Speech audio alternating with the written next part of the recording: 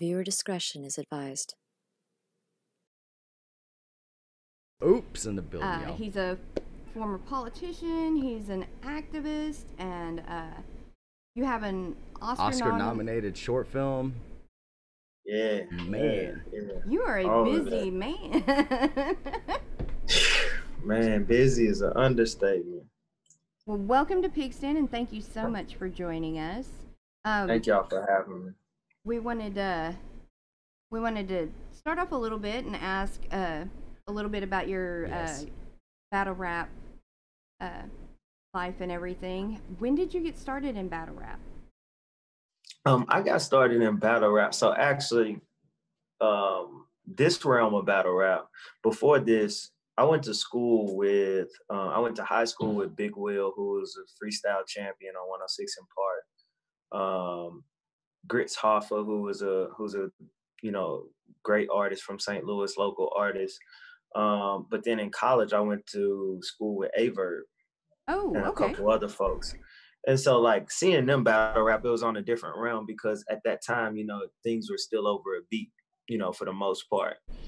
And um, I wasn't really heavy into it. I started off with music. I had songs on radio in St. Louis, um, had a couple deals, had a deal on the table, did a lot of writing for a lot of different artists, um, got a lot of placements with my music as well. So that's where I came from. And then, um, oh, who owned Street Status, who's like a brother to me, he came to me and was like, "Hey, I got this platform. If you want to push your music a little more, um, get your name out there, get get a bigger following, you should start battle rapping." And that's when I did my first official battle um, on Street Status, 2012, I believe, in December of 2012, if I'm not mistaken.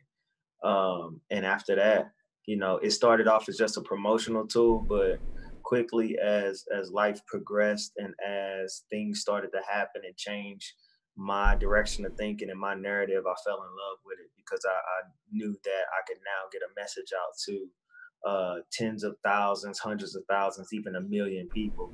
Um, and I was gonna make sure that I said something when I did so. Yeah, I was gonna ask you about that if you did use battle rap to to push your message. Um, Oh. how much of that got sidetracked in 2014? Oh, it, so before before my Daylyt, um, I'll say before my O Red battle. Oh, I battled O Red in 2014 of November. That was right around the decision when they decided not to charge Darren Wilson for the murder of Michael Brown. Mhm. Mhm. Um, by then, I had been in the streets since August. If you look at my battles before that, um, Mr. Mills, uh, my first RBE battle with Blu-ray, and some of my earlier battles, like I talked about the same thing everybody else talked about. Mhm. You know, I had good, you know, what I thought were good metaphors. Um, when you talk about guns and so on and so forth. But O Red battle was my first battle I was like, you know what? Let me try to do something in this third round. And it worked. That battle got, that was my highest view battle at the time. It got 300, 400,000 views. Um, our third round went viral. And then after that, uh, it was time for Daylyt. And at that point, when I went into my third round, I knew that that's what was supposed to happen. But the death of Michael Brown and my my introduction, you know, uh, unfortunately into activism is what changed my whole thought process in battle rap. Because at that point, it was no more about winning. It was no more about um, you know trying to win around. It was it was about the message and, and how many people were going to be captivated by what I say. That's amazing. That yeah, wow, man. Um, so that all led into you getting into politics and activism, th- those events, and man, you've done a lot too. You, you. I There's just so much I want to cover, I know. it's, it's where to begin. You know, you saved you saved the summer youth program for Yeah. your state. Yeah. That is Yeah, that's um almost every state has a summer youth job yes. program, right? Um it's been there for, you know, as I'm pretty sure long as we can remember. Um in my state, you think about places like St. Louis, Missouri, you think about places like Kansas City, Mhm. um, who have their high crime ridden areas, who have their most economically distressed communities um, in the state. But then you also think about our rural areas yes. Uh, that, you know, they go through some of the same things as far as poverty, as far as lack of education. And so those programs helped not only um, young people that look like me, but it helped our, our poor and most vulnerable around the entire state. And our governor at the time, who was an absolute idiot, um, their budget took that six million dollars um, down to zero, Ooh. And he did it not even knowing that that that money didn't come from the general fund. He just did it to just to be spiteful. Mm. And so I worked across the aisle with uh, with a few Republicans who I took to my district and said, "Look, this is why this program is important." Um, the budget chair, who who is the you know he's the most important part person in a in a budget process as far as hierarchy or whatever. Um, they supported it, and so I had bipartisan support um, to put six million dollars in. And by the time I left office, um, I had put nine point five million dollars into the budget for our summer jobs program. Wow. That is That huge. is- that's huge. These programs do really need to be there. Um, we've actually participated in those programs in Oklahoma when we ran Mhm, our own mhm. business. We had kids that were brought that the state came to us, and um, in Oklahoma, the Indian tribes also have their own funds for it, and so the tribe came to us, and we had kids from the tribe and from the state that. Uh, because we ran we were running IT and those kids wanted to learn more and they Yep. needed the opportunity to know what those kind of businesses really were like.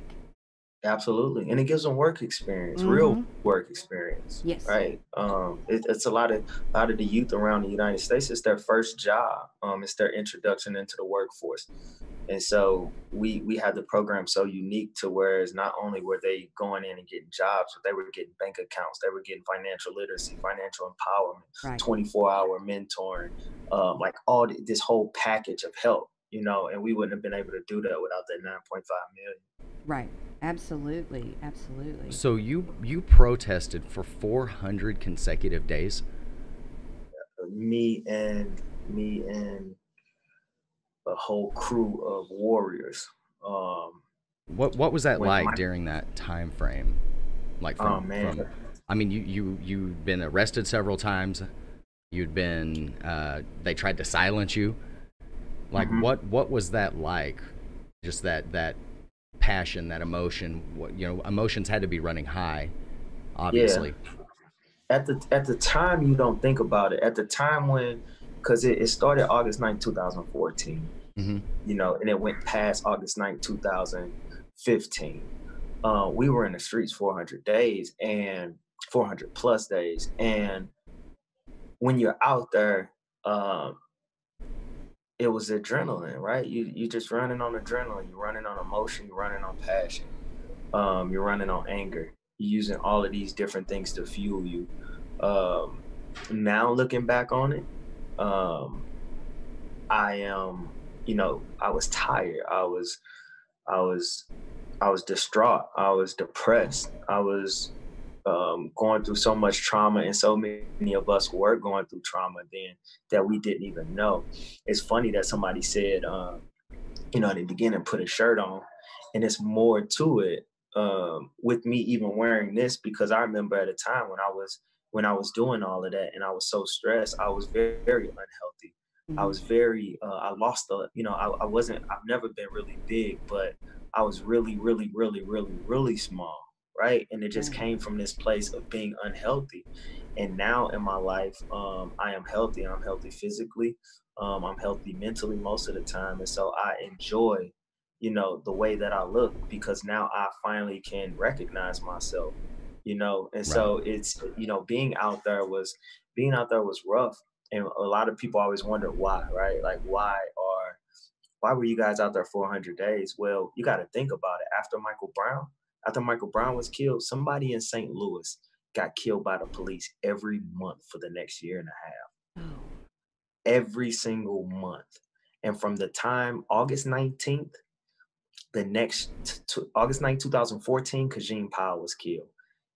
August 9, 2015, while we're at a protest commemorating and remembering Kajieme Powell, we get a call that Mansur Ball-Bey is killed by the police. Mm. So it was a constant protest because we still had people dying every day, you know? So Yeah, we looked up the stats on how many officers ever get out of a hundred. How many officers actually get charged with a crime for these convicted. incidents? One out of a hundred get One convicted. out of a like three out of a hundred even get charged. hold on, hold on, hold on, hold on. Say that number again for everybody watching. One out of 100 officers gets convicted. Three out of 100 just get charged. Now think of it this way. Three out of a hundred.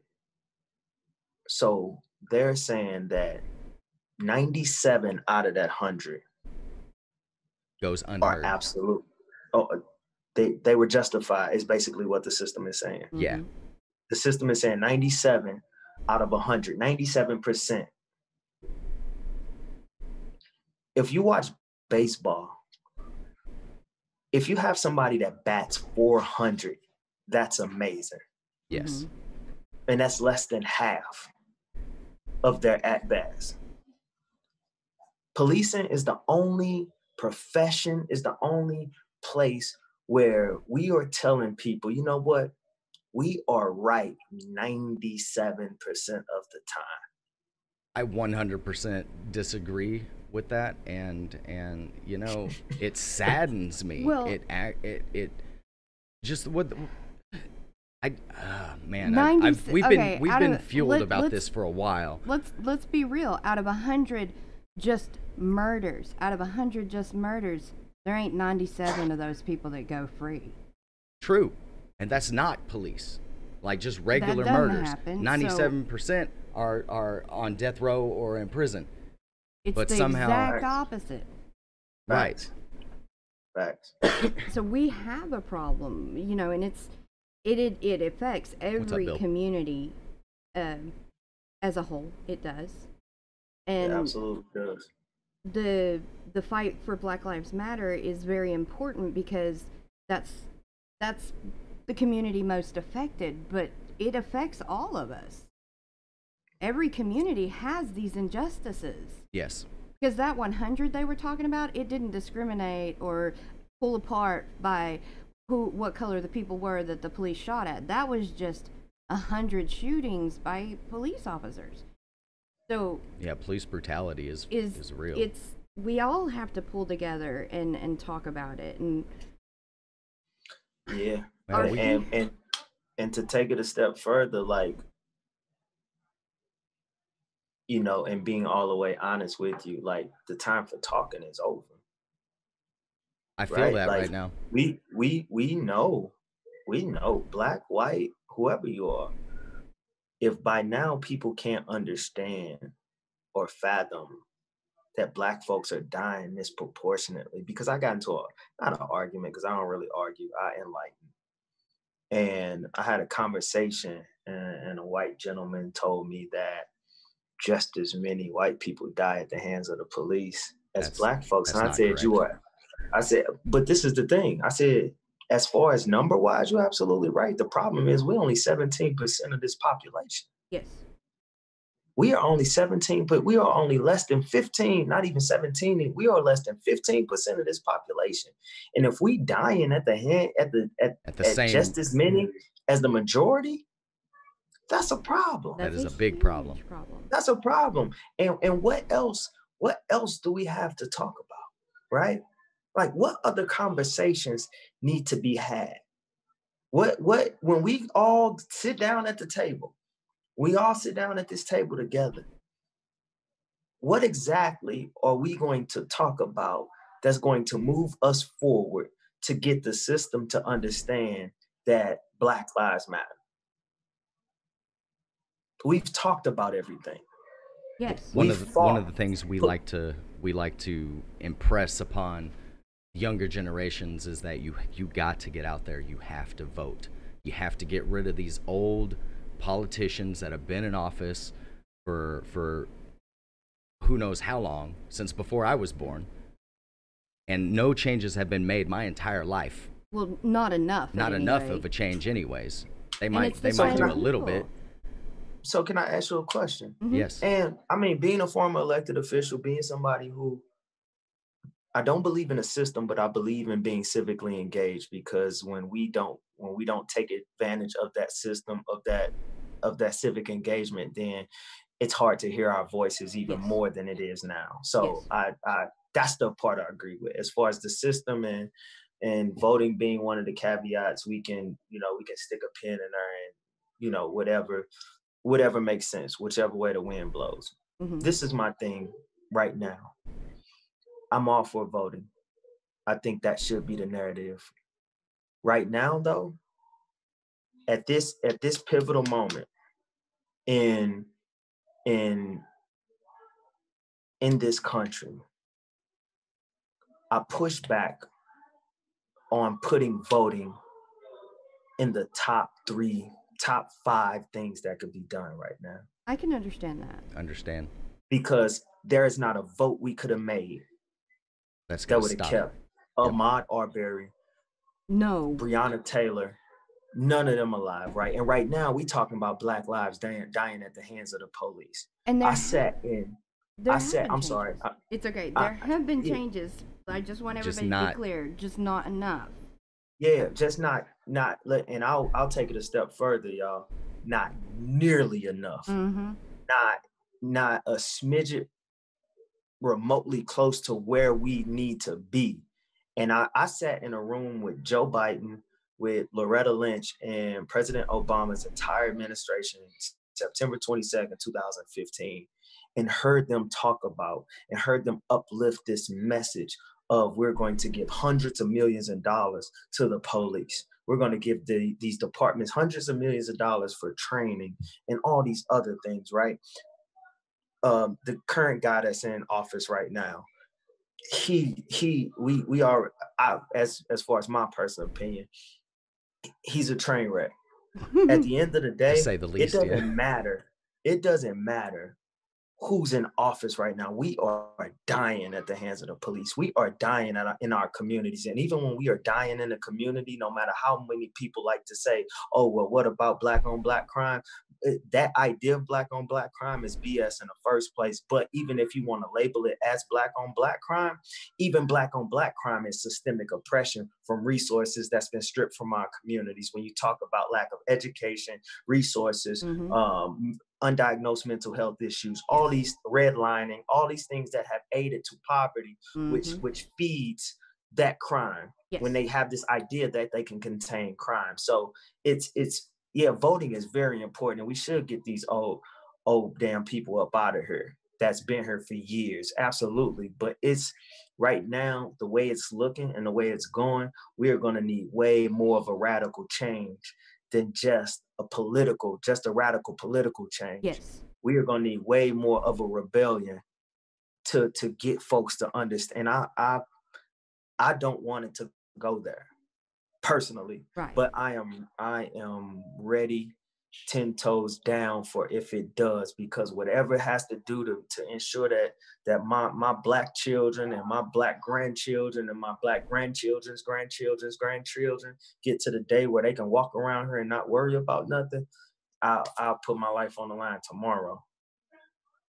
and that's a lot that that says an absolute lot because when anybody stands up and speaks they do have a target on them it's ha- Period. it's fact it's history we already It's know it we we there is no waffling about that and that's that's part of the problem that to stand up and do the right thing you get a target on you just Yeah. to stand up and say hey you're not doing the right thing and you have a target And who's the and who's the person that people like to bring up the most? They love to bring Martin Luther King up. Martin Luther King is one of the most amazing people to ever walk the face of this earth. Martin Luther King was one of the most nonviolent people. Martin Luther King didn't believe in in violence. Um, Malcolm X did. Malcolm X was by any means necessary, and he's an amazing person. But at the end of the day, Martin Luther King was considered the most dangerous man in America when he Mhm. died, when he was murdered. Why? Be- So because so because he He he he, spoke out and he influenced people to follow a path that Absolutely. the government did not like at the time. Absolutely. And Absolutely. when our government isn't a true representation of the people, and it really isn't by the people and for the people, Oh, that ship sailed a long time ago. that's, if it, if this it is even where existed at. in yeah. the first place. Um, Yeah, for for us it never existed. yes. I, I like to believe that when Thomas Jefferson was writing all that, he hoped in the future there would be people that could make the changes that he wanted that he wanted to see Right, in the Cloud? world. That he didn't think he was man enough or brave enough to do himself. And so he left a lot of openings for us to do so much with our country. But we got to Yeah, I- stand up and do it. Yeah, I feel where you coming from, but it's hard as black folks, it's hard to see that from, from a slave owner. I do It's understand. it's it's hard to see that from from when it's it's funny when people bring up um and I went to the school I went to was 91% white. And I will always say this in school when they would talk about our forefathers. I said, what good is an illegitimate parent? Because that ne- none of them were my forefathers. And at the end of the day, um, when you have Thomas Jefferson and some of these other uh, slave owners who who raped their slaves, who who did horrible things, and even when you talk about this country, um, it's funny how this parallel when I see when I see more conservative folks get out here and talk about the looting and the rioting more than what happened to um, the black lives that are laying in the streets, but um, the Europeans looted and rioted their way into a whole country. They looted and rioted their way into a whole system, They right? So looted and looted, looting and rioting worked for them. So so so why can't it work for us, right? What y'all y'all y'all y'all took land, y'all you know not y'all, but you know what I mean. I know what you mean. Um, they you know they took land and they took they took goods and they took people and they they they had this idea that they can own people. Like what type of what type of person are you to think that you can own somebody? And even today, we celebrate Juneteenth, and we celebrate Juneteenth as as as as our freedom, right? As our freedom day. But but realistically, the, the slaves in Texas found out two years later Yes. that they were free. Two years later. It was supposed to be 1863. They found out 1865 that they were free. And this is the day that we celebrate. You know, so when it, we talk about our the, the ideas of our country, I'm not so uh, I'm not as optimistic um, as as some of my some of my uh, European brothers and sisters um, when it comes to what the ideals of America could be and and what the forefathers meant. Because only thing I know is what they've shown me. Yes. And it is the line that you walk is the line that people remember, not what you said. So, what Mhm. what do you feel would be a next logical step to implement that change? Radical change. Malcolm X had Malcolm X had um I would implore anybody um watching um and even even y'all if if y'all haven't read it yet but Malcolm X ha- has a speech called the Ballot or the Bullet and in this speech he talks about um he specifically talks about the black community and he talks about how we have the power um to put people in office and to take people out of office when it comes to the civic engagement and what I what I drew from what I drew from the speech was that um, each method was just as powerful as as the other, Mhm. right? Whether we take the take it to the ballot and we politically organize together as a people and say, "Ho, this is what we're going to do. Hold on, this is we we are going to move in this way. These are our candidates, and this is who we are pushing." Um, because the Democratic Party has banked on our vote for a long time, and we have upheld we have upheld our end of the bargain for a very long time, but they haven't upheld their their end of the bargain to us.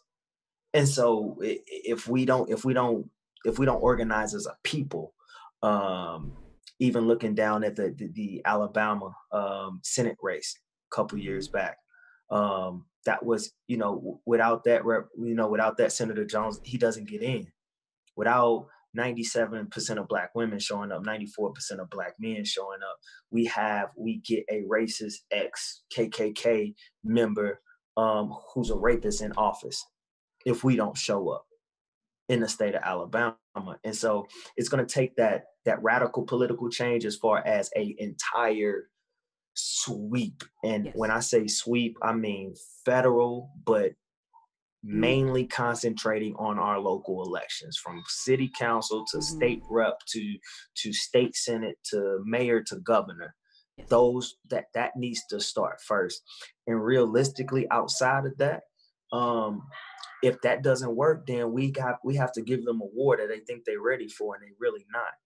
They're gonna find out how many people are actually on the same sides if it comes down to a a nat turner um, type of rebellion because police were put in in place as as as slave catchers right? They were slave patrol and they caught slaves they caught black folks and they killed black folks and it's 2020 and they still catching black folks and killing black folks right so how many times are we going to turn a cheek how many times are we going to peacefully protest? How many times are we going to non-violently protest? How many times are we going to believe in an electoral system that ha- that keeps failing us, in a justice system that keeps failing us, in an entire country that keeps failing us? What do we do next?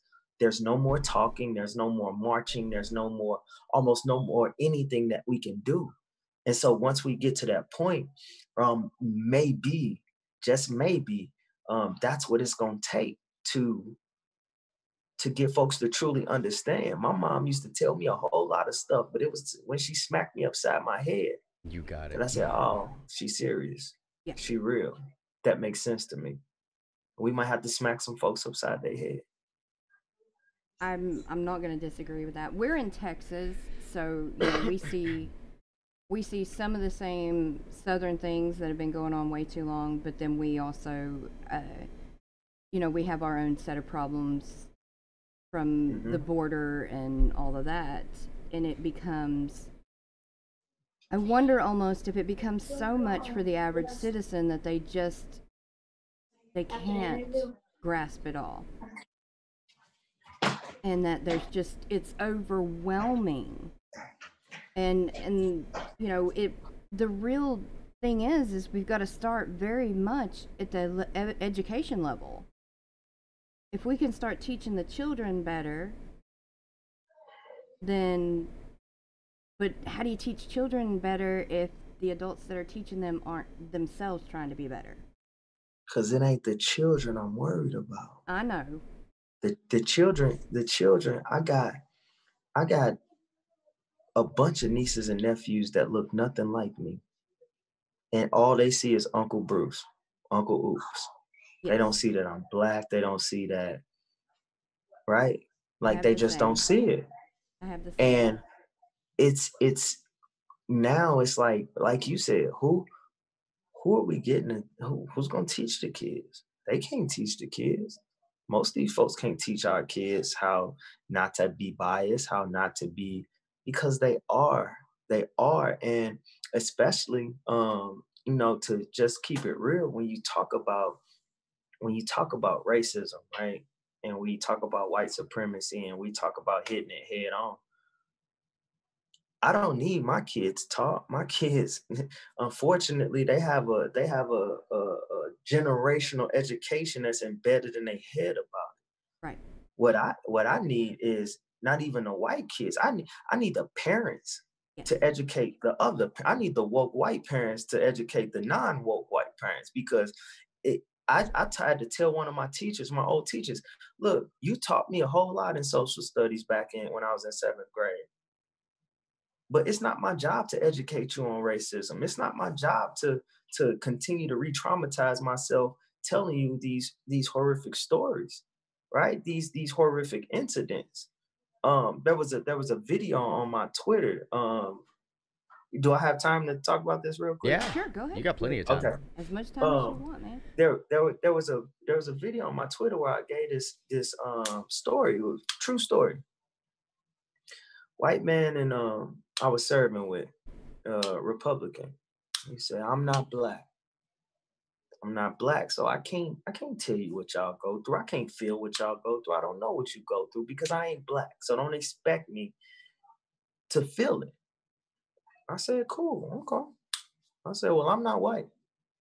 And I feel it.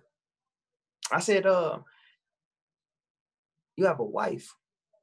He said, yeah, yeah, yeah. I said, you got kids. He said, yeah. I said, were you there when your kids were born? He said, absolutely. I said, your wife, when she was having your kids, I said, was she in pain? He said, yeah, she's in a lot of pain. I said, you sure? He said, yeah, she was in pain. I said, she couldn't have been in pain. He said, how the hell are you to tell me? I was there. I said, she couldn't have been in pain. He said she was absolutely in pain. I said, How do you know she was in pain? He said, I heard her crying. I saw it. I, I was there. I could feel it. I said, You can feel it, you can hear and you can see it. But you didn't have to go through labor. You didn't have to have a baby. You didn't have to go through any of the physical things that she went through in order to see, hear, and feel that she was in pain. That's all we asking. We're not telling you you gotta be black. We know that's impossible. We just saying see what's happening in the news. Hear our stories and our cries. Take a step back from your bias and feel what we're going through. Then you will truly understand, or even halfway understand.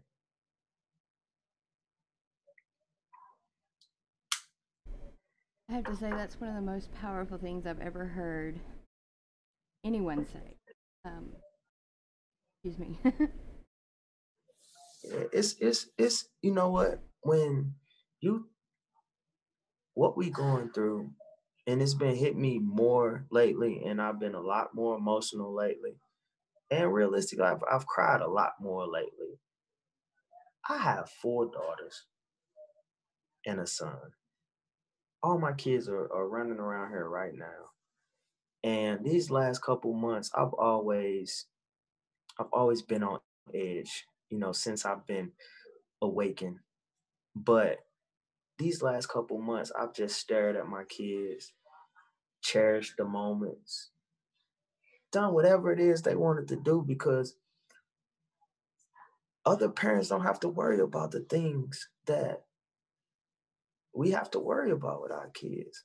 They don't have to have the conversations we have with our kids. We don't get the we don't get the the luxury of preserving our kids' innocence. For six years, my kids have known about Michael Brown and about uh, police involved shootings and about racism and about a system that wasn't built for us and how to operate and how to continue to fight. And and, and it's it's very unpopular but i told people i don't have to just make it home safe conversation with my kids because my kids are my kids my kids have me embedded in them so they're going to fight at all costs so they know that there comes a time when you do something not because it's popular not because it's safe not because it's political but because your conscience tells you it's right as martin luther king said and that's something that we live by i would love for my kids to make it home safe every day i love them with everything in me but my kids know to fight. We have to fight because the worst thing that anybody could do to you, whether it's the system or just a regular human being, is something that's going to happen inevitably. So if it's going to happen, you might as well go down fighting. My six year old understands that. My 10 year old understands that. My 13, 12 year old understands that. My 16 year old understands that. I look at them every day and, and think to myself, I don't know what I would do if this hits my front door. I don't know what I would do if one of my babies is taken away because all of this goes out the window and that rebellion and that war comes a whole lot faster if it happens to mine. And unfortunately, even though it hasn't happened to mine, I'm a lot of us are at that point. And it's so it's it's it's it's a tough, it's really hard to deal with right now. It's it's it's a tough time. Like I've never seen so many people walking around, especially black folks, walking around with just even more heavier shoulders than they, they've had to deal with because of all of these things. COVID 19, all these different things that are just packing on top of each other. But social distancing doesn't doesn't doesn't know gun violence, right? Gun violence doesn't know social distancing. Police brutality doesn't know social distancing But I, I, saw a report that said there were no school shootings, and that's because no schools were in. Or but you know where there were still shootings at? Streets. In our communities, each and every day. Sorry, I didn't mean to go. No, no. No, we just, thank you. I think there's a lot of people that that need, need to, hear. hear this. It is. It's an and it's a very powerful message, and you know, it, you're very good at, at speaking it. We've been talking about there needs to be voices like yours, people who will stand up and, and really speak and and can reach people with passion and conviction, not just somebody who's up there talking, but somebody who's up there feeling. You know what's you know what's we did I did an interview earlier today and our documentary is um, in the runnings for an Emmy now. Oh. And so they're doing all these interviews, right? right. And now my emotions are here. So mm-hmm. you know what they want to talk about in the interviews. They want to talk about, you know, what's going on, right? Which is right. And I told them, I said, I wish I wish I didn't have this ability to speak and captivate folks because this ability and this talent came from 35 years of hurt, came from 35 years of trauma, came from compressing the gunshot wounds of young people that I've mentored and I've never been to medical school. Came from my brother dying at nine years old and I was six. Came from being going over 200 funerals and and watching the news and watching in my communities as this force who was supposed to be put in place to protect us, to protect and serve, whatever you want to call it. And people die and we are dying and nothing's being done about it. Like it comes at a heavy cost. And when they say heavy is the the head that wears the crown, it's it's I never I never understood any of that. I never understood those type of sayings because it was like I didn't see I didn't see that part. That wasn't a thing for me. Um, and now I understand. But now that I do have the voice, and now that I know I have the power to captivate people, there's no shutting me up. There's no silencing me. Like you're gonna have to kill me. that's that's the only way to shut me up. And and if something happened to me, they ain't gonna have to worry about nothing. You ain't gotta worry about no peaceful protests. You don't have to worry about no no silent marches in the street. Folks gonna go. And so it's, you know, while I have this voice and while I have this breath in my body, I have to make sure every interview that I do, every time I speak, every time I open my mouth, I don't care if I'm at the grocery store or I'm the keynote speaker at a college where it's 10,000 people in the crowd, I have to make sure I am delivering the same message, the same passion, the same empowerment, but more importantly, the same truth. I feel it. And that's what that's what everyone needs to hear is is the truth that you have. I think I think a lot of times when people like you speak, it doesn't get pushed out enough. There's not enough people making sure that your videos reach others, that your what you are saying reaches out. And we've all got to be look, we've got social media where we can share unlimited. And we got to do that. We got to do talk. that. When someone has a voice, we got to we got to let everybody know, "Hey, this person's willing to speak." You might you might feel you can't speak or you might be afraid or or you might feel like you're not worth being up there to speak. Then get beside, behind somebody who, who is, is speaking and Facts. share and let people know this person is this person's telling it. They're they're talking. They're people are listening, share them, you know. Tweet that Absolutely. shit out. Retweet it. Real talk. like it. I mean, we have all Real these talk. powerful tools and and people aren't so using few them people use them. It's easy to retweet all the bad things, but how about we start saying, "Hey, let's let's retweet the voices that have something to, to say. say." Yeah. No, I I wholeheartedly agree. I and realistically, be, you know, before we go any further, um, I had a battle versus B Dot. It was a really good battle, mm-hmm. and um, in my third round, I talked to uh, Gully, who is my brother. Um, who, he always had my back through with KOTD, him and Organik, and he just had a son. He's a white, he's a white dude. He just had a son, and I talked about in that battle how you have to have a different conversation with your son. But I, I told him, I gave him some um, advice. I said, you, you know, if your if your if your son sees his black friends in trouble, uses white privilege as a superpower. Yes right? And that's that's kind of what you guys are doing right now. You guys have a platform. You could talk to anybody. You can find anybody on the street. You can find anybody in in you know, you guys have a you have you have a platform, whether it's two people, 2,000, 20,000 or 200,000. You guys have a platform that you are utilizing in order to make sure truth is heard.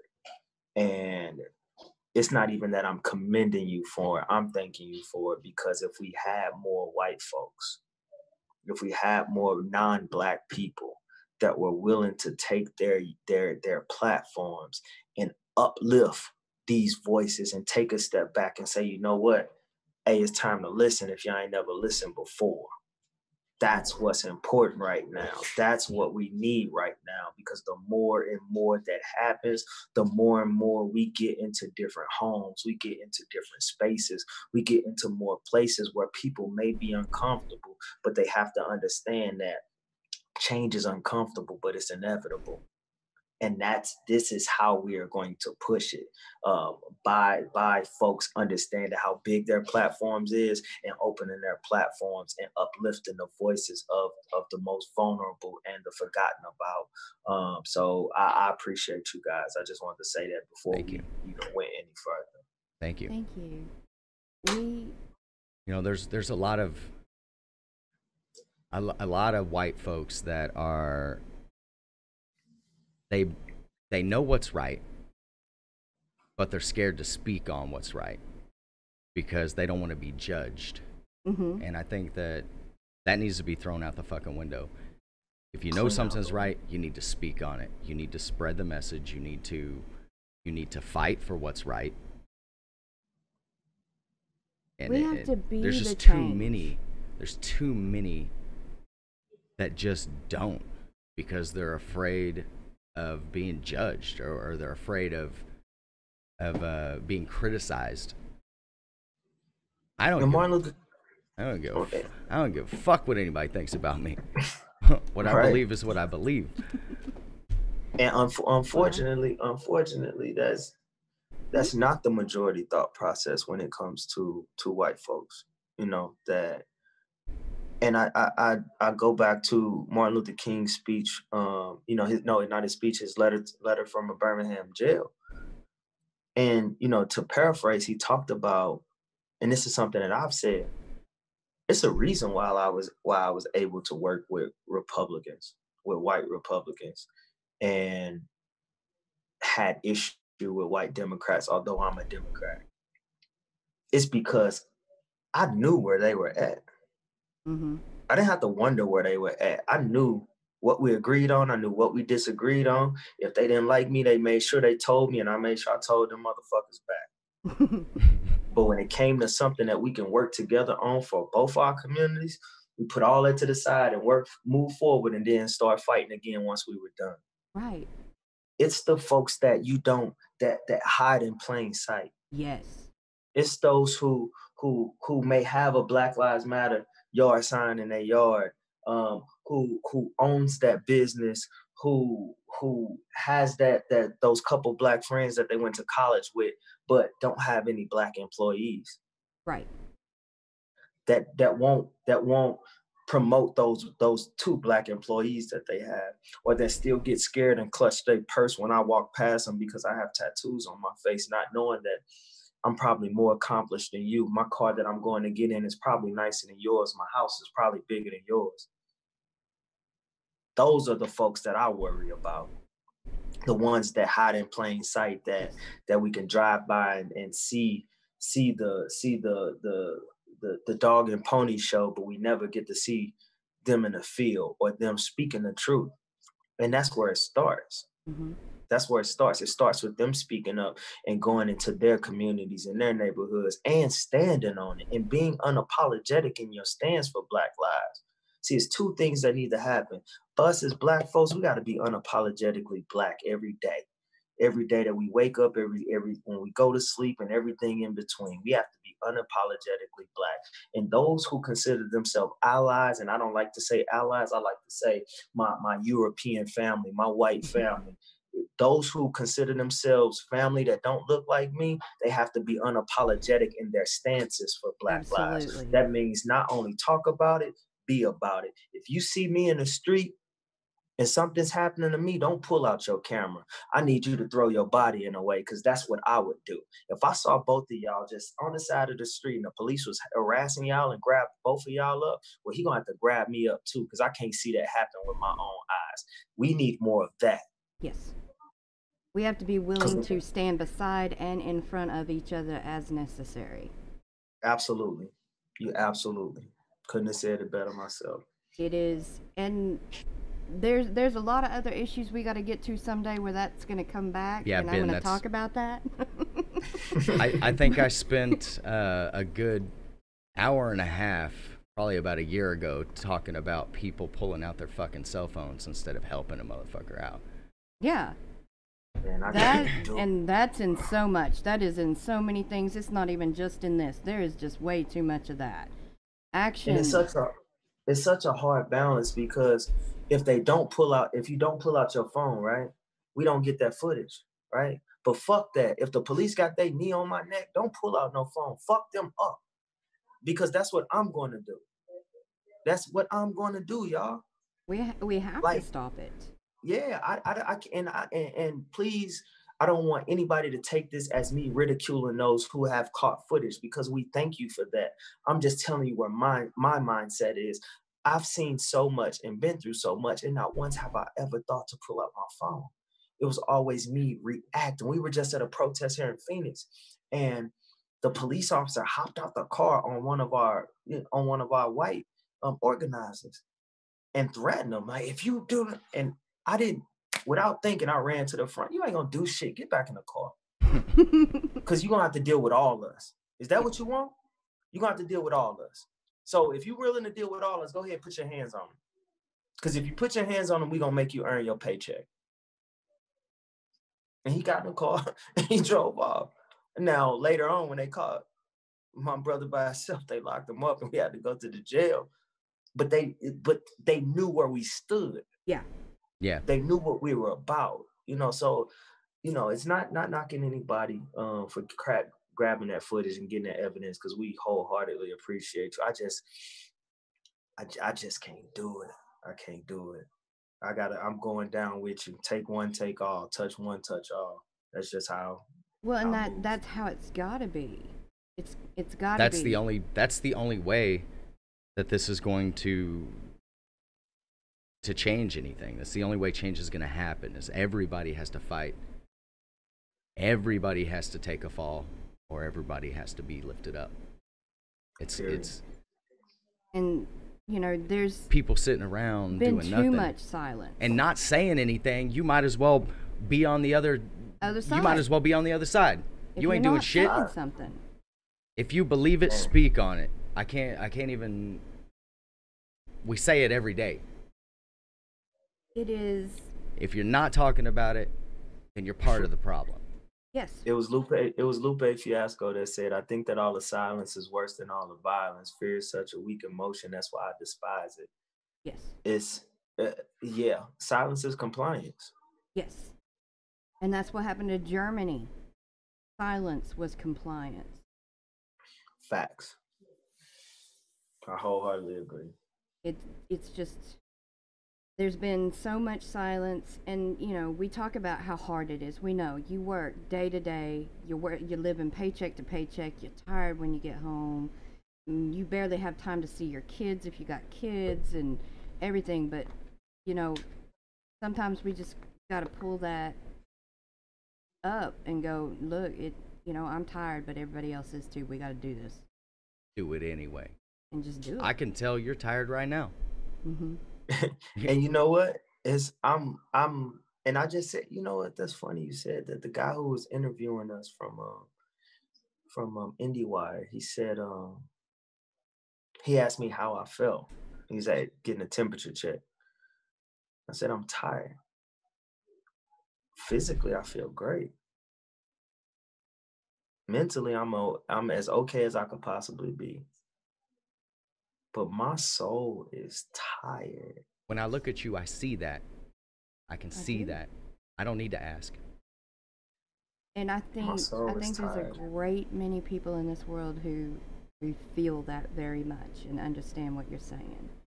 And all this has just been dragging and dragging on it. And the media, the media, Media has don't even get me started on the media. The media does not help. A The lot. media covers the story That until something else is going to cover up that story. And Yeah. right now, it's COVID 19 coming back. You're hearing less about uh, the movement and you're hearing more about fucking virus. That's a problem. I don't know how to alleviate that problem. I don't know how to get Black Lives Matter back into the media. the You- you public know what- media, I guess to say. You know when it's gonna get back into the media? When, an, When when another build- person when more dies. buildings, yeah, when another person dies or when more buildings start burning.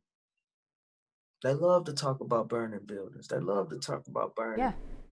burning. they do. Burning They want they want those It's- big bright headlines that Yeah, sell that sell shit. that make them money because that's all they give a fuck about really is money and now COVID nineteen. I'm not a I'm not a conspiracy theorist. I, I I know it's real. I've actually lost a couple family members to it. But on the same hand, not even but. Moreover, I feel like now they didn't expect things to go the way they went when you had Ahmaud Arbery, then uh, Breonna Taylor and George Floyd and uh, Dion Johnson here in, in who was killed while asleep in his car. Um, and and and Rayshard, Rayshard. um, down in Atlanta, like they wasn't expecting this, right? mm-mm. And so now what happens in the media? What now what happens with the politicians? It was everybody was Black Lives Matter for a minute. Everybody had woken up and was apologizing for racism and the systemic issues and we gotta do better and we gotta police reform and and then shit hit the fan and now it's all COVID-19 and it's a, another outbreak coming and so on and so forth. But why can't we do both? we can. We can. Right? Yeah, we absolutely can, right? It's the same Like- precautions. Viruses are always going to be there. We can't stop our lives for every virus that comes along. Yes, this one has some very extreme things that make a difference, but something as simple as a mask can make a big difference. When you don't know you're carrying it and you're going out there Mhm. spreading it, if you got a mask on, you're less likely to get someone else sick. That's it.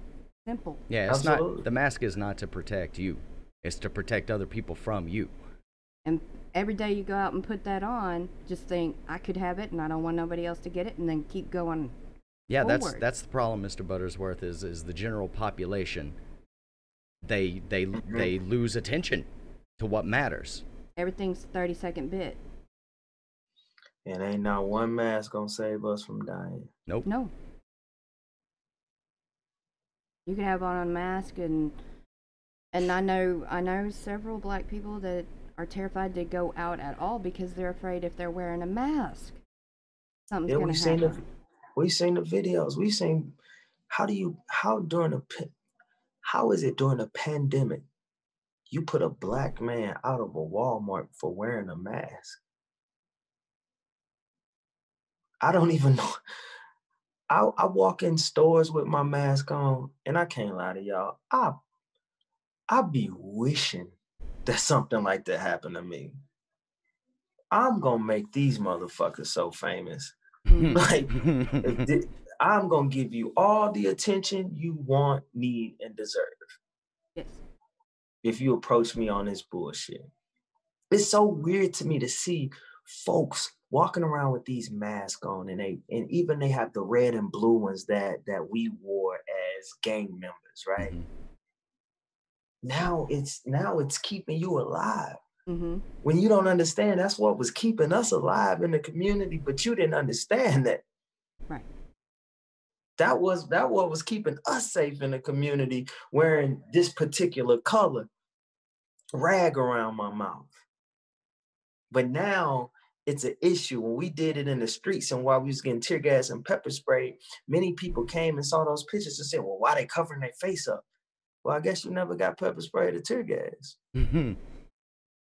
and now we covering our face everywhere we go. You can't sit down at the casino without a mask on and a glass shield, feeling like you work in the same place as Homer Simpson. and that's the that's the most secure fucking place there is. There's a camera everywhere in that. Right. Facts. so, um, Cloud, I have friends in Tulsa giving me constant updates since yesterday or the day before. There is so much tension in Tulsa. Mhm. Please pray for those people. Send good vibes. Whatever it is you believe in, Tulsa needs it. Whatever God you a pray to. Powder keg. My Uh. my my um my my man, my good brother, uh Joshua Harris-Till. He is a descendant of Emmett Till. Um he is also the uh, president of Young Democrats of America, Young Black Brother. hmm and he is in Oklahoma. And he's in Tulsa right now. He I know he lives in OKC, but he's in Tulsa right now. And he's from Oklahoma, has always been Oklahoma. Um, and I'm tapping in with him because it ain't nothing. It's a that's a hour and a half flight for me. Yeah. So they the the system they better keep cool because we on we on deck for that. That's been something for that should have happened a long time ago as far as organizing in Tulsa and really getting to you And know what they what what they did to us back in the day. You know, a lot of people don't know about Tulsa. And Yeah, I grew Wall up Street. I grew I grew up in Oklahoma. So it was, you know, you learn Oklahoma history in school, right? It's like a paragraph. It gets Wow. a paragraph. Wow. My best friend moved to Del City, Oklahoma. And it was the first place I ever traveled to on an airplane. First plane ride I ever went to was uh, to OKC, and then we went to uh, Dale City. And I remember learning very early, but it never hitting me, right? It never really resonating because I wasn't in that mindset Right. even as I got older. And then I remember it was one time in 2015, and I was just watching YouTube and I was watching a bunch of videos where people were talking, and then they had old videos with folks who were um, the children and you know family members of, of some folks involved, you know, some of the tragedies. And I remember sitting there just crying full blown tears, like, what the fuck are we supposed to do? Like, we Mhm. talk about regenerating the black dollar and making sure that we have our own businesses and making sure that our communities are flourishing by supporting each other. Um, and look what happens. Look what they do to flourishing black folks. It's, it's, it's bad enough y'all killing us, period. But I mean, that's, it's hard It it's is- hard. My yeah, my my my prayers and vibes and everything else are with everybody in in Tulsa. And if if I get the phone call, if they tap me on my shoulder, I got flight money right here, just waiting. So Well, I have, I hope, but I don't know. It my my friends say that, and they live there day to day, and they said the the tension in the air You feel it. is You just feel it. overwhelming in the entire city, and they and many of these people that I know will be going out in protest and everything, and so I'm very concerned. Um, Creole, good That's a question. good question. Uh, what would be your approach to defund the police and judicial system? Oh, so let's talk about the defunding of the police. Um, first, when the first thing I would do is um, in St. Louis, what we did, we did an audit of the police department.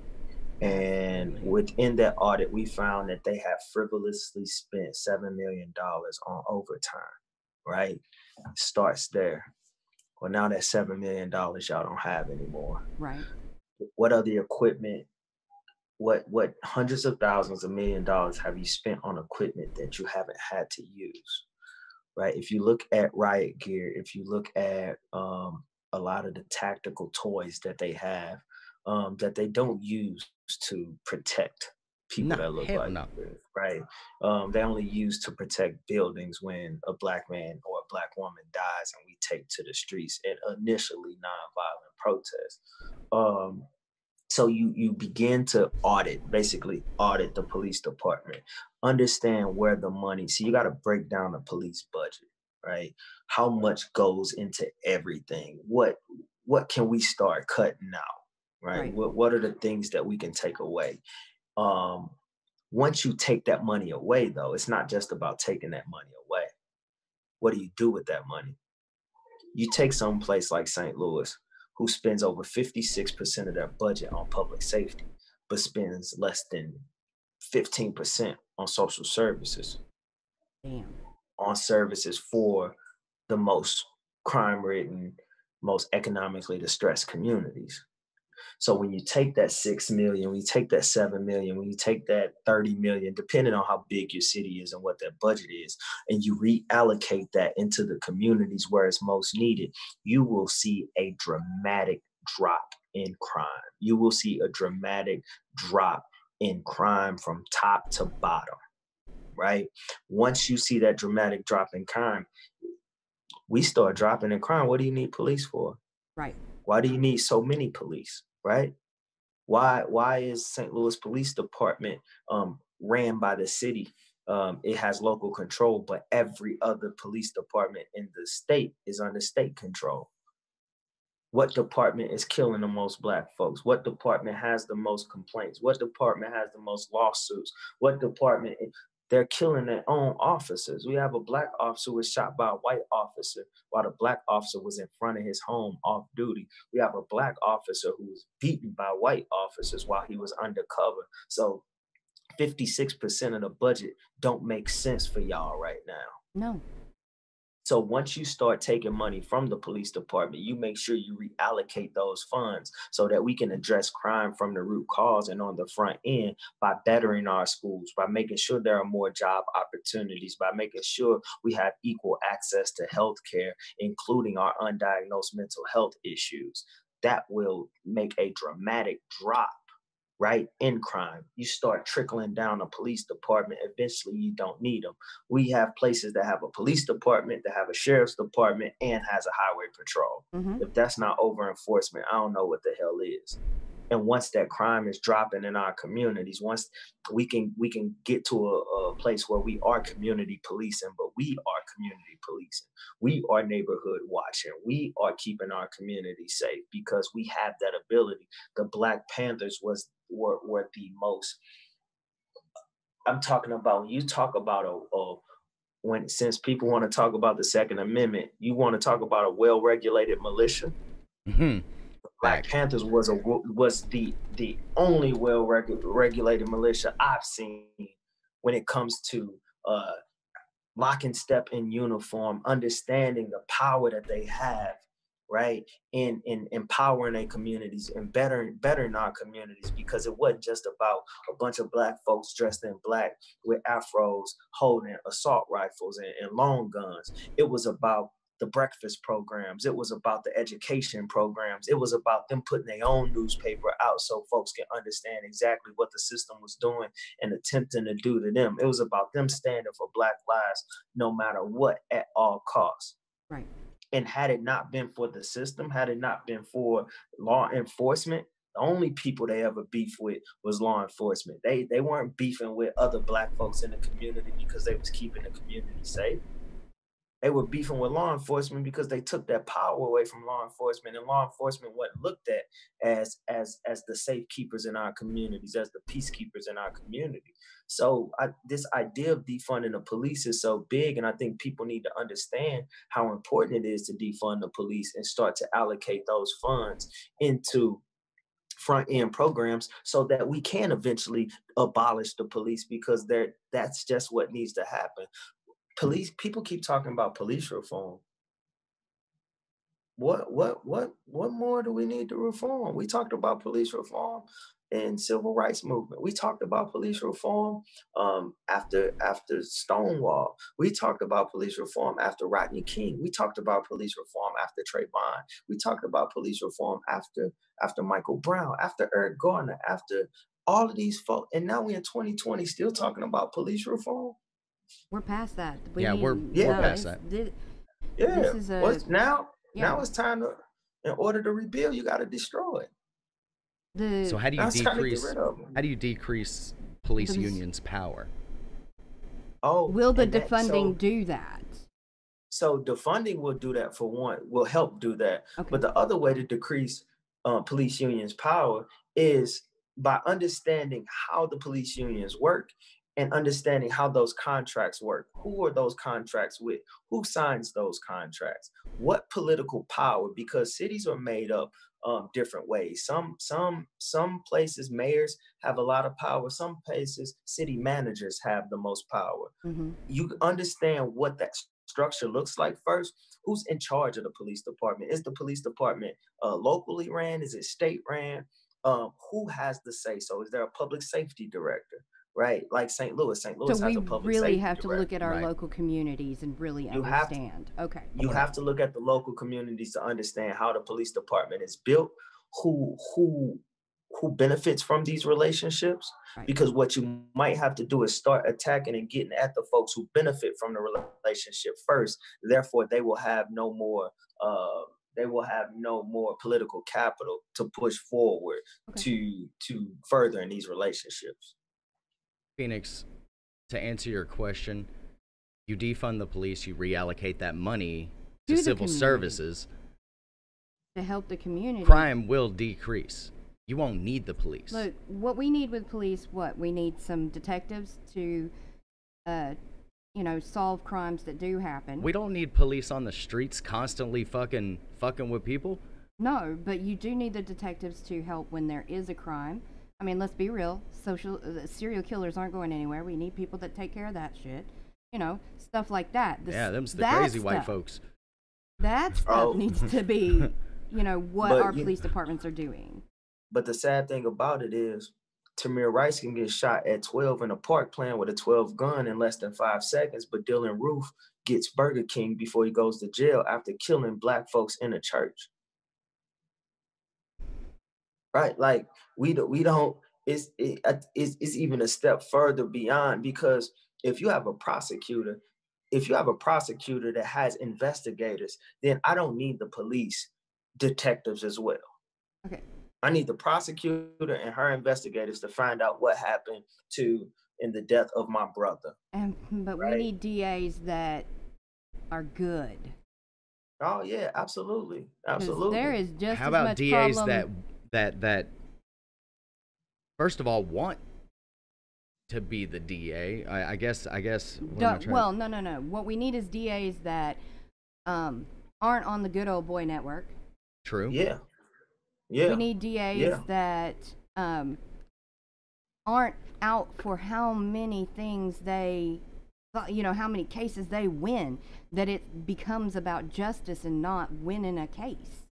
we need DAs that understand that we can't lock our way up out of this problem. Exactly. We need DAs that are going to create reentry programs and help reentry Mhm. programs and concentrate more on making sure that those nonviolent offenders um, and those offenders, period, um, who might not have a record, right? Who might not understand that it's case by case scenario, and also understanding that you know what we can deal in right and wrong all we want. We know what the books say, we know what the laws say, but at the end of the day, if we are not dealing in reality, we are going to continue this mass incarceration because you got to look at the reality of somebody's upbringing. You got to Yes. look at the reality of what the situation that they were in, and not saying we need to take it too lightly or just give them a slap on the wrist and say, "Hey, go ahead about your day. No, we need to be able to offer some some real resources for folks. Yes. Right? We need to offer some real resources for folks so they can better their life and so they can be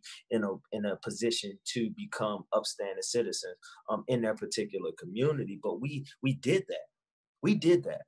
We went and got Wesley Bell. Like we got Wesley Bell in office. We got Kim Gardner in office. Kim Gardner is basically telling the police right now, listen, check this out. I don't trust y'all. I don't trust these warrants that y'all bringing us. I know you free case people all the time. I know you been in this many police involved shootings, and I have evidence of this, this, this, and this, and I can't trust your warrant. So I won't even. I'm, I'm not even moving on anything Yes. that you got to say. Yes. And they are attacking her right now. They are fighting her. They're trying to get her out of office. Her, her. her race is in August, and the police unions are attacking her. The police are attacking her. All these folks are, and me and her haven't always agreed. Like, That's that's that's a given, right? We haven't always agreed, but at the end of the day, this black woman in this power, the most powerful law enforcement in the city of St. Louis, is being attacked by other law enforcement and other status quo holders because of her pushback on these particular officers and her pushback on the system. Yeah, Same way with calling 'em Wesley. Bell. Yep. And they need to be called out. They do. Um, it's absolutely, uh, yeah, we need DAs that don't care about leveling up in elections. Uh, we need judges that, we need people to understand when they elect judges who those judges are and what they are and Those what they're about. we are. need we need to stop uh, uh, absentee ballots that have been cast in incorrectly, which is exactly what happened with you in 2016. I mean, Yeah. there's What- so what much. the- Like, So had and- you and my not thing- called for a recount? Yeah, and, and but and this is my thing. The the that was such a that was such a historic but hard. Um, I mean, it's a hard fight because you look at how they have suppressed our vote. You look at how they have tried to strip the actually stripped and watered down the Voting Rights Act. And so when it comes to us having access to the ballot box, like we need all the access that we can get Yes. right? The problem is the actual politicians, the politicians that take advantage of a community Mm-hmm. that isn't as educated civically about um, absentee voting, and it seems right to them because they don't know any better, right? Mm-hmm. and this this politician takes advantage of these folks and now they've been stealing these elections and you finally get the black rapper with tattoos on his face that say y'all got me fucked up i'm from the hood that shit. yeah yeah and, and, and what Better was so wild about it was they couldn't even recount it they had to throw every single vote out right? Give us a whole new election on a friday in a wizard of oz storm and people still came out to vote and it spoke to a testament of what our message was and who we were in the community. But then it's like i have a court case against another black candidate. Now i know white candidates who been embezzling money who done did all of these Mhm. horrible things right and they ain't getting not, not held accountable once but now you got two black folks against each other in court. And I ain't gonna lie, I was like, you know what? I don't want them to go to jail. The, Mhm. You know what the justice is? The justice is me winning this race. I ain't I ain't putting no more black folks in jail, especially when I see white folks doing the same thing or even worse and and Nobody's not getting up. held accountable Nobody's for it. saying No, I ain't put They I ain't just putting no more black shit under people the in rug. Yeah, call it call it right, wrong, or indifferent. I ain't putting no more black people in jail. If if I can't get the same, if you can't keep that same energy for these white elected officials, Right. I don't care what kind of beef me and my opponent had or me and their family had. Nah, I ain't no nah, we not we not doing that. So be mad at me. You know, they I didn't give two shits. We no, I understand completely the sentiment behind that, and and I have a big problem Phoenix. having grown up in Ada, Oklahoma, I have a big problem with the judicial system. so, Phoenix, you and I have had these conversations before. Creating laws or adding amendments doesn't fucking do anything. We had the same argument on gun laws. all that you can create all the fucking gun laws you want. I'm still gonna be able to get a gun. Uh, It's- you're, it- you're only talking about after the fact things. Oh, it already happened, and then we can refer to this law. And That doesn't that's solve not any where- problems. Reinvesting in the communities that need it. I was a lawmaker. Like I've been on that side. I was a lawmaker. Like Wait, what is this, Creel? Outside the police and judges, how would you handle the welfare system? Project housing and education, passing students without educating them. So we have a That's- massive, we have two really massive crises in this country that, that nobody's talking about. We have an education crisis and we have a mental health crisis. Okay, so let's mm, education. You look at our educational system. I mean, I say the system for a reason. hmm They're not. They're not. They're not stripping resources out of black communities on accident. They're not stripping educational resources out of out of black communities on accident. They're not creating this system of of charter schools that cherry pick the best of the best in our black communities and leave our our community schools um, with less population and lower scores, which makes those schools close and it forces other children to have to either migrate to different schools or do what do what we have seen dropping out so on and so forth. Mhm. like and so this this system isn't doing any of this these things by accident. You talk about public housing. Public housing was created in our communities to contain crime. We talk about welfare. Hey my mom was on welfare. My mom the greatest woman to walk the face of this earth and i'll fight anybody that got got got anything to say about it. But she was on welfare because she had to be. Yes. that's that's what had to happen. But when you create this this system of making people dependent then there can't be this abrupt stop to that system No. and you can't you can't do anything about that system until you start replacing the resources that that that they stripped out of the communities or never put in those communities on purpose so before we can talk about public housing before we can talk about the welfare system we have to talk about the stripping of the resources once we put those those those resources back into the community once we stop um, funding our schools or finding a different funding mechanism for our public schools other than property value. Because if if if i live in a poor community and our property value is shit and you in just a, a, a mile and a half away you got big big fortune 500 companies who for one aren't going to hire from within my community for two don't give a damn about my community. And then you give them a 10 year tax abatement.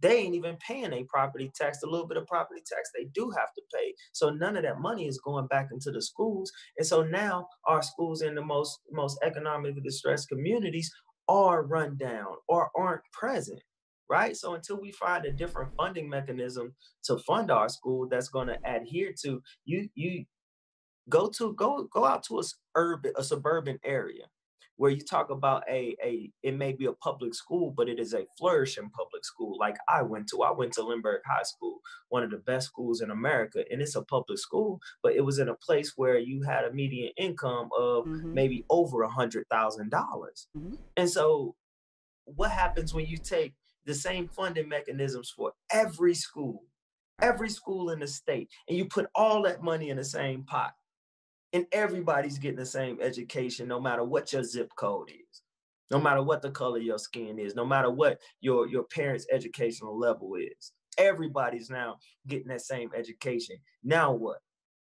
So there are a lot of things we need to talk about before we can we can address this this this what people see as a problem in, in welfare and and uh, public housing.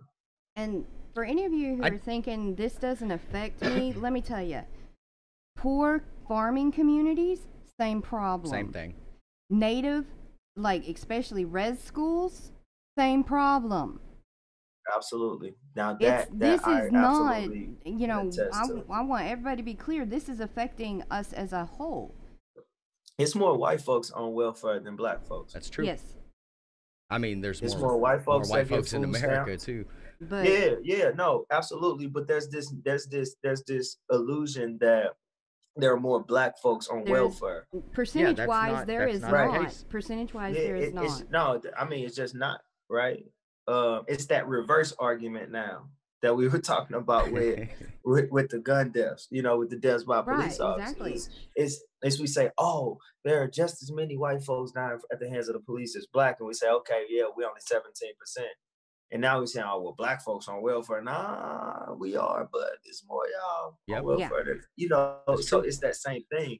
Um, We yeah, have- but that's not a we we got a we got a keen problem with um you know we have an issue with coming up with great solutions for problems that we don't have or don't need to be addressing at this moment right skipping over what we need to hit on the head to disperse all of this rather there than is there is no keep putting one, band-aids on gunshot wounds Yeah, there is no one answer for all this. There is a massive amount of change to make everything be what it needs to be.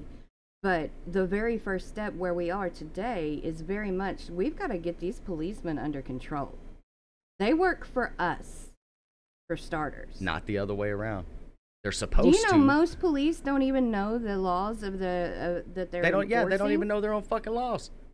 Oh i absolutely eh, man I, Listen, I am the wrong person to any police that may come across this video or that may be on this line. I am the wrong person to pull over without knowing your shit.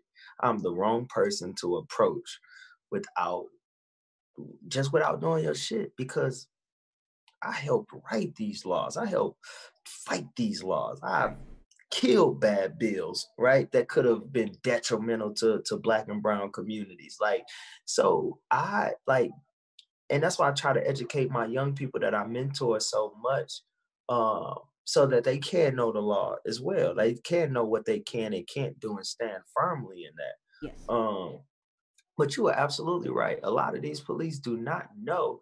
I had a police officer tell us at a protest, "You can't videotape me." I said, "Show me where it says that she can't video, because I ain't gonna videotape." I I want to I want to have a different interaction with you. I'll let her do the videotaping, but you show me the ordinance, the law, or the policy that says that she can't videotape you, and I'll take her phone for you. I watched a, uh, a video on Twitter not that long ago, and uh, there was a guy standing outside of a police station with his phone recording. It was and one it of was the like- it was one of the battle rappers. Five, six, who was that? I can't remember it. Five, the- six, seven, seven cops showed up, and they were like, "Yeah, you can't be here recording." He's like, "It's public property. I can do whatever I want. I can I record. can be There's right no law here." that says I can't record." Nope. And they were, Show them. oh yeah, Only one knew just the watched- law. Just one cop out just of all watched of a them knew the video. law, right? Just watched a video with that exact same thing. yeah, it was show off. That's who it was. Yep.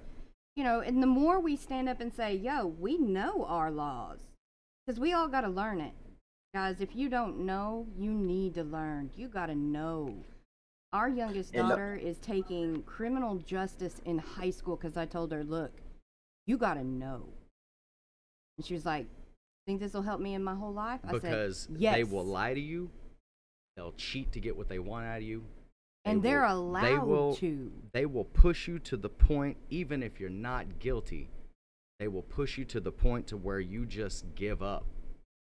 and say You know how many you know how many people in jail that didn't do it? Yep. Yes. I'm a I, I try to tell people, I try to tell my the white folks that I come in contact with, conservative folks that I would argue with on the floor.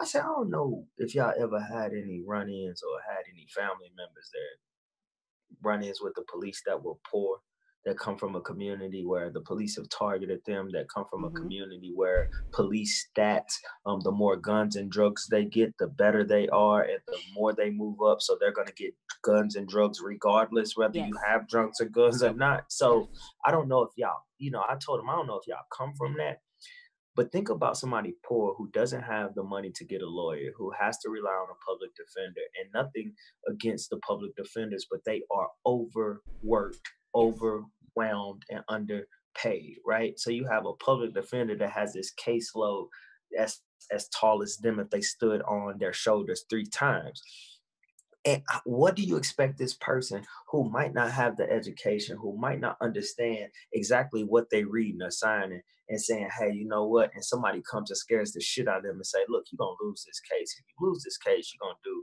30 years to life. You're gonna do 20 years to life. You can you can just cop out right now and take seven years. You can take five years. You'll be out in three and a half. Boom.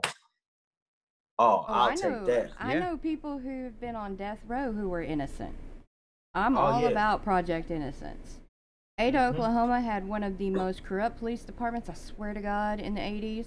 They, there is still a man in prison to this day, and his co defendant got out. That's man. how bad it is. Man.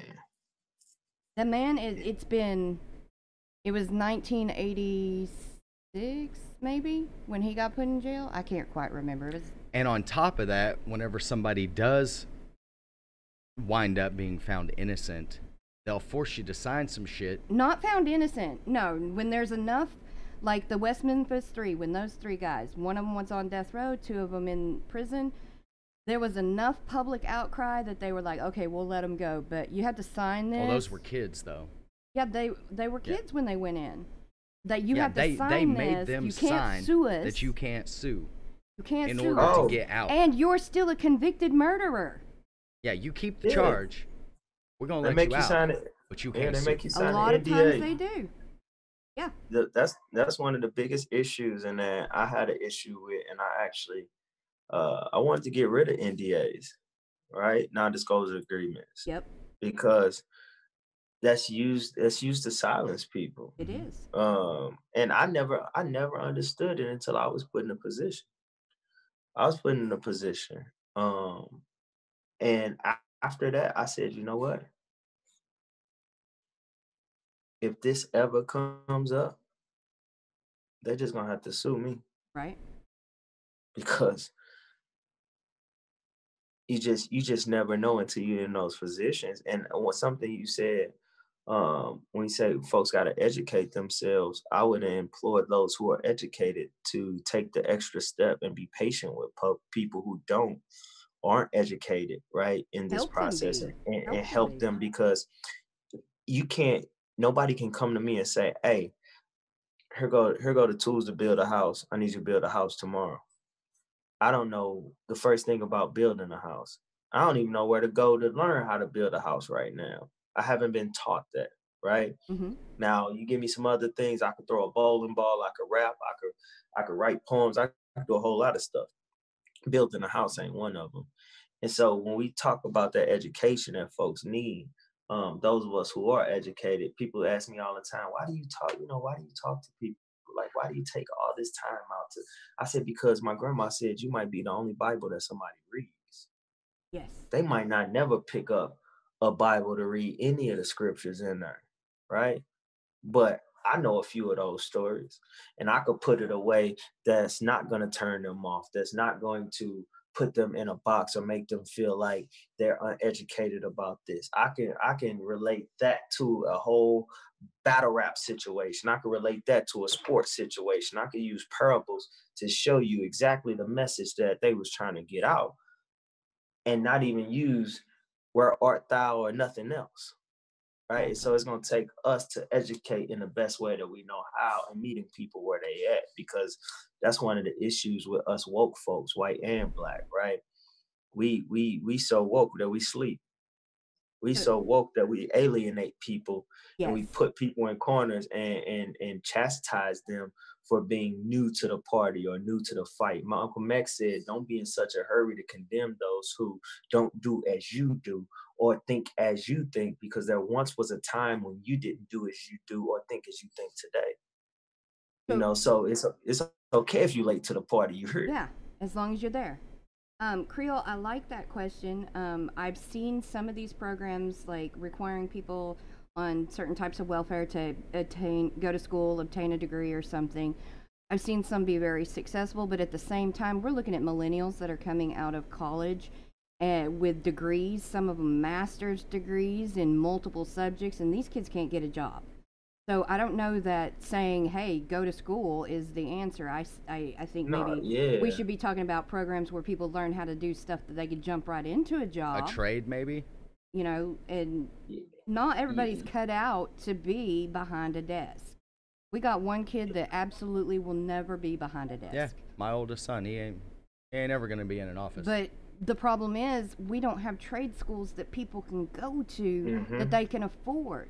Half the trade schools out there don't take to public where you, you- government funding, and then the other half, they're you still have X amount of dollars on top of what FAFSA will pick up, and so that's Yeah. that's a problem when you can't when these my niece just somebody just finished paying off. She was very close to paying off her college loans.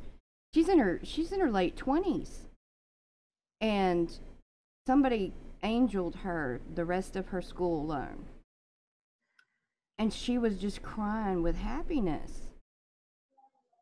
And you know, if we're at that Yeah. point that we're crying throw that tears because that burden is off of our young people, we got a problem.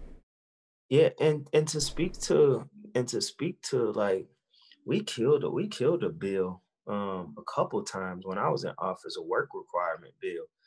You you're telling somebody who's on welfare in Missouri, Where there's not very many jobs, especially out in the mm-hmm. outer reaches. and that don't make a livable wage, No. where minimum wage is nine dollars, right? You're telling somebody who might not have the education to go out here and get a job.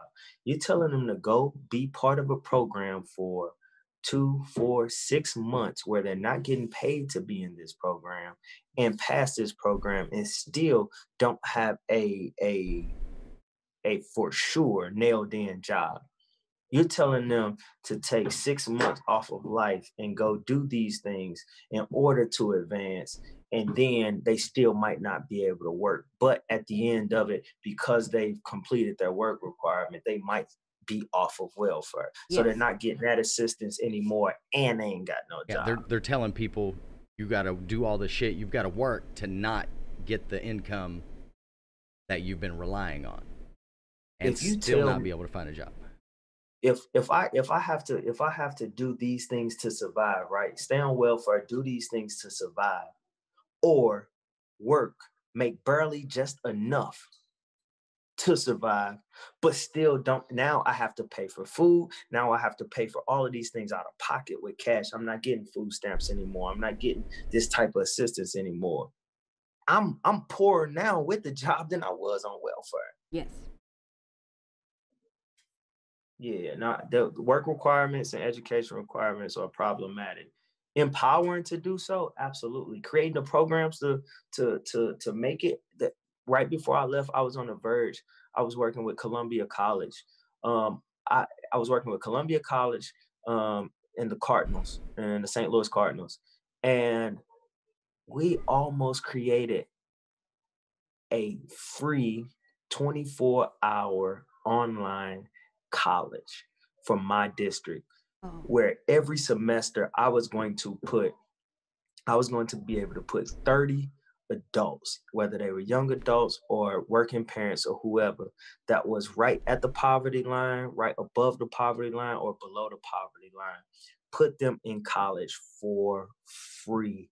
30 per semester for four years. That was the initial, you know, that was our initial kick in. I was I was this close to making that program happen. that is that's an amazing, amazing program. Um, it's we've got to bring up the education level. We've got to put back into our communities, especially the ones that need it. I'm sorry if you live in a gated community, that must be nice, but you know, I'll, kids out in the sticks. I don't know what that's like. Kids out in the sticks don't get those opportunities either, just as much as the kids that are in the middle of the the, the city.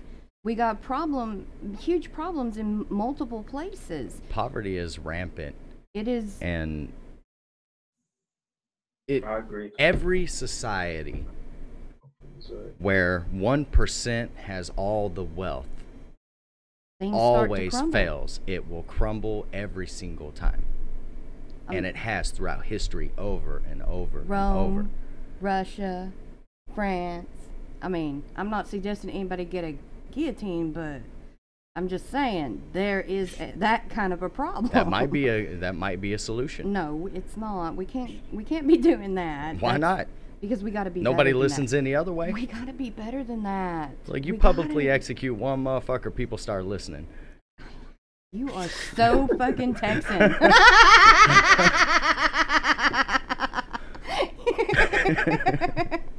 I'm just, you know. Am I wrong? Am I As long wrong? as we, as long as we ain't publicly execute nobody that look like me. No, no, no, no, no, no. We're talking about the top one percent, the richest It's- of the we've richest got, richest. We've got an imbalance around the. No, we absolutely do. We absolutely do. All And until Yeah. until we understand what that looks like, until we understand what I mean, Point when you talk about capitalism, when you talk about all these different things, it's like now I can't I can't lie. I mean, I just moved into I have a I have a big house. I have a nice car. Right. But I walk outside now and I'm still hurt. Like it bothers me. When it bothers you that you're doing well, Yes. when it bothers you that you're doing okay for yourself, it bothers me to go on vacations. It bothers me to go to the beach where I know I'm from 4300 Gibson, right on the south side, and 95% of the people I grew up with ain't never seen a, a bigger body of water than the Mississippi River. That bothers me. Right. And so when you have these, that's an issue that's an issue and, and and I've met some of these rich folks. I've met some of the richest people in the world. You know, I met I met I meet all these stars all the time now. And I'm, you know, during this whole Oscar run, I was with the and I just felt out of place. I didn't feel out of place because I was I was broke compared to them. I felt out of place because I just felt like our mindset wasn't in the same places. It was two people that made me to, to that, that made me feel like they were human it was two people. It was um it was uh Michael B. Jordan, um, actor, and it was Mark Ruffalo. Mark Ruffalo is an incredible human. Ruff, Mark Ruffalo saw me at the Oscar. We had met at a premiere when we were premiering uh, in the same theater. He was doing Dark Waters and I was doing. Louis Superman. And we met and we talked and he said, Hey, hit me up. And so we started to talk after that and just have conversations via email. We saw each other at the Oscars on the red carpet. Um, I got the pictures on my Twitter and he saw me and he turned around and he was like, Bruce. And everybody turned around like, and people just start snapping pictures of me. Like, "Oh, Don't know who that is, that be is, but uh, he said his name, so let's get him. Yeah, we don't know who the hell this guy is. He's, you know, Get the this- pictures now. We'll figure yeah, it out this later. guy in the red suit. And so, but we talked, and it was like this genuine. And when I talk to him, it's always it's always love, it's always empowerment, but it's always this sense of, bro, we got work to do. We got work to do. That's the message. You think we've been knowing each other? Same with Judd Apatow. So it's like, you know, yeah, y'all, yeah, we on the same page. Um, Yeah, I'm same glad to hear that you did actually meet someone like that. So much of the time in the entertainment industry, we really see the whole La La Land thing happen. they live on a whole other planet. Yeah, they're out of Oh, lo- they really do. uh, out of they re- touch with what the world is and how it is, and then they donate money or they do something, and it's so it feels so shallow because they don't. Rather I, than I using your- often question that. So listen, the BAFTAs, um, it's the uh, London version, basically of the Oscars, right? So I was in London at this party, and uh, Joaquin Phoenix walks into the party, and Joaquin Phoenix, he's the other person. I should have said his name as well. Uh, I apologize for leaving leaving him out. Um, Joaquin Phoenix walks into the party and he stands next to me. I turn and I see him, and I said, "Look, I, I actually like to thank you for your your role as the Joker. People who suffer from um, mental health issues, mm-hmm. um, anxiety, depression, we will see it a different way, and just know that we appreciate it. Um, although it was very difficult to watch, um, it was needed for society to understand a few things. He gave me a hug and was like, you know what, that's what's needed. I appreciate it. That's, you know, it, and he he talked about the stuff that he learned, you know, in the role. And he started to talk about, you know, look around this room. You know, there are no people of color here. Like we have to do a better job. I have to do a better job. He was saying these things to me. And I said, listen, you got the platform. Your voice is strong. That's all I said. The next day, he received the Best Actors Award at the BAFTA and gave the most powerful speech ever about Black and Brown lives, about um, you know Hollywood and what it looks like, and racism, and all these different things, and did the same thing at the Oscars. That's what using your platform is about. Yes why you got millions of people watching. Because you know, at the end of the day, you're gonna be okay. Yes. You as a white man, actor, millionaire, you're gonna be all right. So yeah. I I agree with you very much, hundred percent, because it's easy for us. It's easy for white people to forget. Oh, did Uh-oh. we lose him? No, we good. Okay. I was, no, I got a I got a text from my mom downstairs. Say, you still on there? Oh, we'll keep you all night. I'm sorry. Yeah, well, if you need to go, you just tell us, man. No worries. It's all we, no, it's all good. We, we could talk a little bit longer. I got uh, my mom, uh, my stepdad, my sister, my brother was here. He left. Everybody's in um, from St. Louis. They came to visit me. Tomorrow's oh. Father's Day. I got all my kids, and so it's been it's been a time. It's been pretty dope. So awesome. What what I was saying is it's easy for white people to lose sight. We go home, we got we live in a mostly white neighborhood. Uh, my husband is not my husband's part native. So there's a little bit different perspective. Uh, I mm-hmm. I come from a multiracial family, so I have a bit mm-hmm. of a mm-hmm. different perspective, but you know, it's I see it around me. Right. I see how easy right. it is. They're just like, but I still got to pay my bills. But you got to speak up too when you can, you know. And yeah. it's it's reaching out and telling everyone. It doesn't matter who they are, where they are, what color they are. We all got to speak up together because one voice can get lost in the crowd. Creole, that's a good point. Some people, sometimes it's like that. It is like that. Very much. And it, what happened? It, they go back to their lives. Yeah, when somebody their uses lives. their platform, does it really work?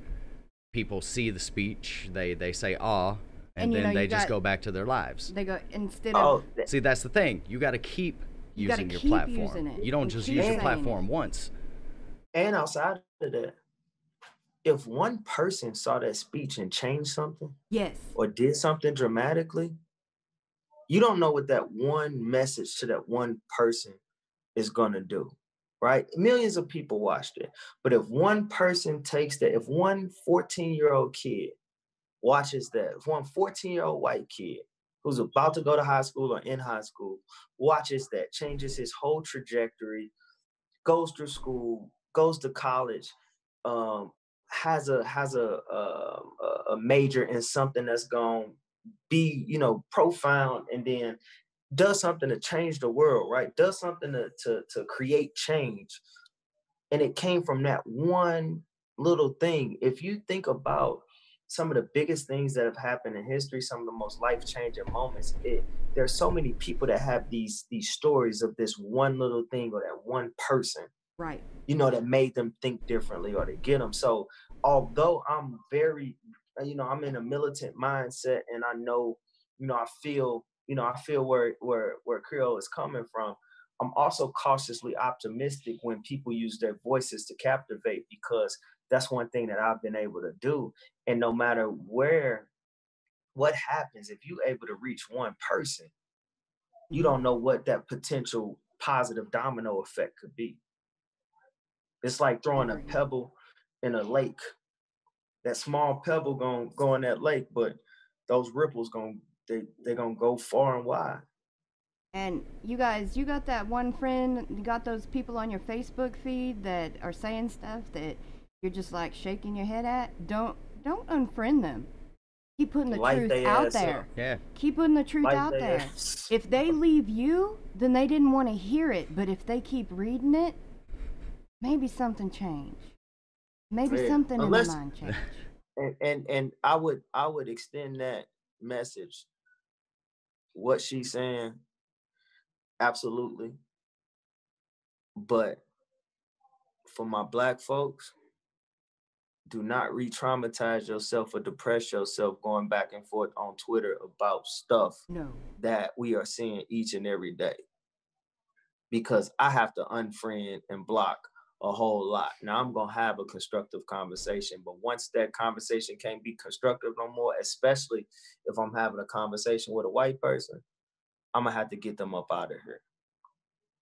Because it is so traumatizing hmm sitting and talking about something. I just saw somebody die on TV. I just saw somebody die on social media with a knee to his neck that looked like me. That could have been me, could have been anybody in my family. And if I take the step out, you know, take the extra step to try to explain or try to give my nah, it's we we've done it. We've done it. We've done it. We've done it. There are those of us who can do it. I'll continue to as much as I can. But now it's time for y'all, Pigstand, my new brother and sister. It's time for y'all to take it to a whole nother level to get these other folks to be on y'all level. Because I fuck with the level that y'all on. But we need these other folks going to bat on Facebook, going to bat at Walmart, going to bat with these white folks to keep calling the police on black folks simply because they black. They can't sit and bird watch in a park. They can't sit. We can't sit in our own apartment and eat ice cream. Our kids can't play with toy guns. We can't go to the corner store. We can't. Our kids can't walk with Skittles and, and, and iced tea. Like, nah, that we we need y'all to sort of turn their ass up. Right. And The whatever, way that y'all doing? ev- whatever way they have to hear the message, if you have to get it to them through, let's talk about the kids. You want your kid to be like that. However, you got to reach them. Get Mhm. to whatever that level is that they can feel. Facts. And that's where you talk. That's where it starts. Because once you can get past that first hurdle, a lot can happen. Yeah. But we thank you so very much. We know, I- you, I'm- we know you got to go and spend time with your family. Thank you so so much. You're welcome back anytime.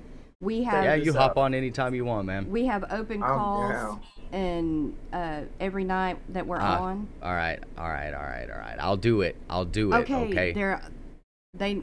No, no. Mike, look, look, I, just, I, just saw got. I got, I got two it. one Mike P. I got two one Mike P. against who? Me? no, Saka. Oh, nah, Saga 3-0. Um, Whoa! okay, okay. Well, you know, I battled Mike We're- P a long time ago. we're having Mike P on next week, so you know. Listen, Mike P is uh, Mike P's amazing dude. That's that's my brother. Um, realistically, I gave Mike P his first shot. I wasn't as you know, I wasn't you know anything special, but I had a slightly bigger name than Mike P. I was like his second battle. Oh wow. um, and Mike P beat me. Mike P made me, um, Mike P made me a lot better. awesome. Um, and he's and he's always been a good dude. And plus, we we both got bowling in common. We both pretty good bowlers. So So, everybody, yes, um, be sure to follow Bruce on Twitter. Uh, he has a website. Thank you, Raya. BruceFranks.com. Mhm. Be sure to Mhm, check that out. Everything you could possibly want to know about the man is right there.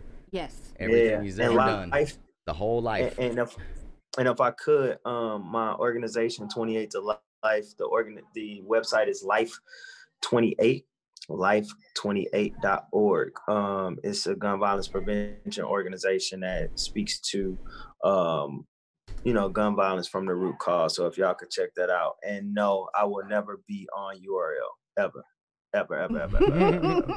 never. He said, "Don't text him because he sucks at texting back."